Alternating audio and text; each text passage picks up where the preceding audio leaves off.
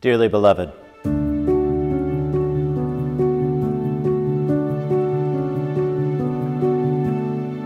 we have come together in the presence of God to witness and to bless the joining together of this man and this woman in holy matrimony.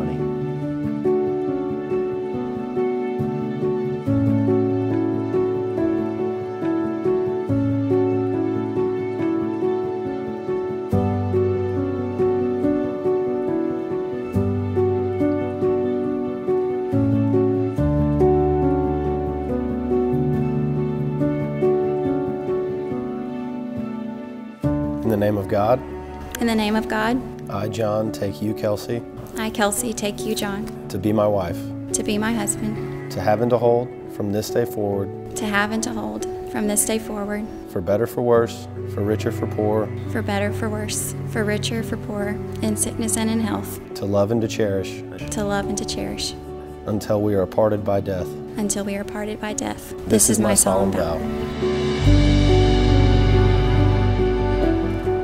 Is she behind me?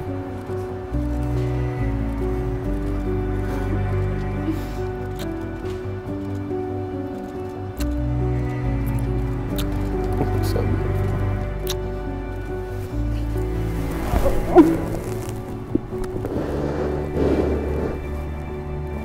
I love you so much.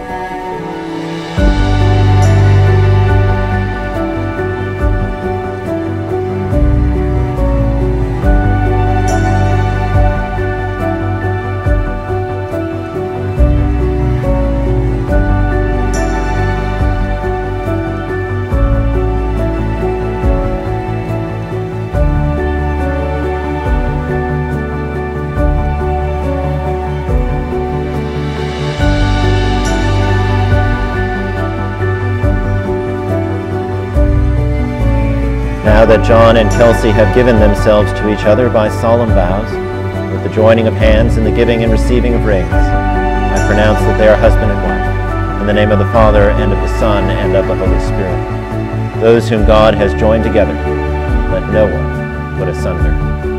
Amen. John, congratulations.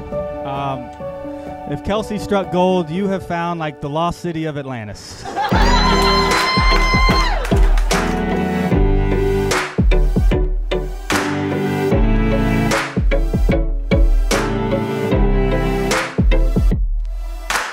But the first time I really knew that like it was great was when Conley was like, "When are we gonna see Silly Kelcie?" And I'm like, "He really loves you," and so that's me being his godmother.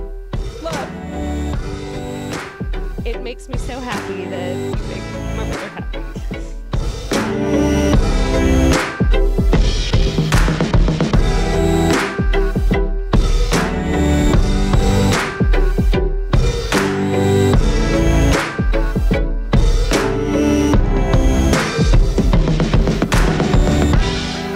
And the things that I love about Kelcie, Obvi, so beautiful, so caring. The way that you treat Conley. You would you would never know that he wasn't born from you. And I don't know if you'll ever know how much that means to me. It is my wish and my belief that the two of you will joyfully grow old together. With that, let us raise our glasses high and toast to love and laughter and happily ever after.